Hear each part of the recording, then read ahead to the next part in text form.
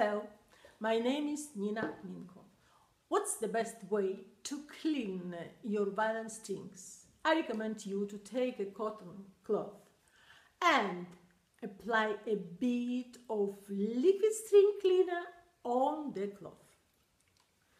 Start by cleaning from the top of your strings by rubbing it gently up down along the fingerboard with the cloth. With the cloth. Then pull the cloth gently between the strings and fingerboard.